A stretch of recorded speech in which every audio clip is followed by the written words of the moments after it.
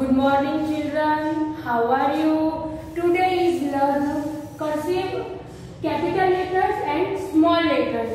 तो आज हम क्या लिखेंगे तो राइटिंग कर्सिव लेटर्स उसमें है कैपिटल लेटर्स और small letter so let's start A for apple जिस तरह से आप देखते हो कि कैपिटल लेटर्स भी होता है स्मॉल लेटर्स भी होता है, उस तरह से थर्ड जो एबीसीडी होती है, वो होती है कर्सिव राइटिंग जो कर्सिव राइटिंग कैपिटल भी होती है और स्मॉल भी होती है।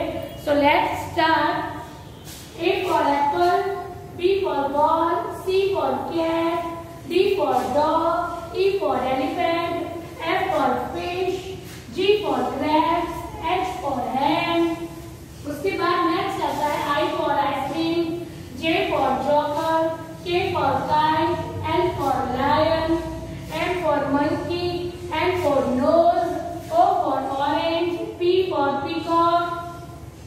इसके बाद है for queen, R for rabbit, S for sunflower, T for tiger, U for umbrella, V for violin, W for watch, X for X-ray.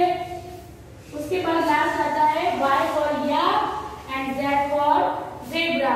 अब बच्चों से लिखा कैसे जाता है जैसे कि यहाँ पे मैं थ्री लाइन्स बताती हूँ ये थ्री लाइन्स बनाइए ओके तो लिखेंगे कैसे सबसे पहले ए फॉर एप्पल लिखेंगे। तो ऐसे करके ए फॉर एप्पल और उसी तरह छोटे वाला, जो छोटे वाला स्मॉल लेटर है, उसे ऐसे लिखेंगे। उसके बाद आता है बी फॉर बॉय उसको इस तरह से लिखेंगे। उसके बाद नेक्स्ट आता है सी फॉर कैट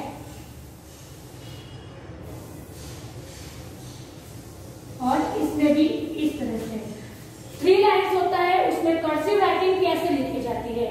इस तरह से मैंने आपको बताया कि A for apple B for ball C for cat उसके बाद आगे आता है डी फॉर डॉग इस तरह से लिखा जाएगा।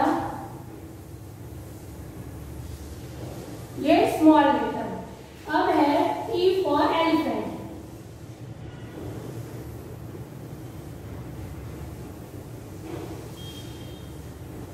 उसके बाद आता है एफ़ फॉर फ़िश ओके अब नेक्स्ट आता है G for grapes H for hand इस तरह से करना है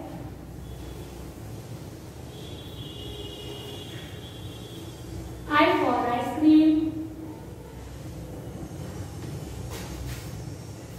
J for joker. K for kite.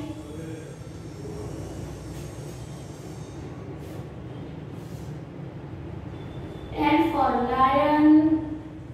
मैंने आपको लायन तक सिखा दिया है ओके अब लायन से लेके जेड फॉर जेब्रा तक, आपको एक बार ट्राई करना है कि कर्सिव लेटर हमें किस तरह से लिखनी चाहिए जिस तरह से अल्फ़ाबेट में कैपिटल लेटर्स होता है स्मॉल लेटर्स हमने देखा, ठीक है, वो तो आप जानते ही हो तो थर्ड जो अल्फ़ाबेट आता है, उसमें कर्सिव राइटिंग आती है।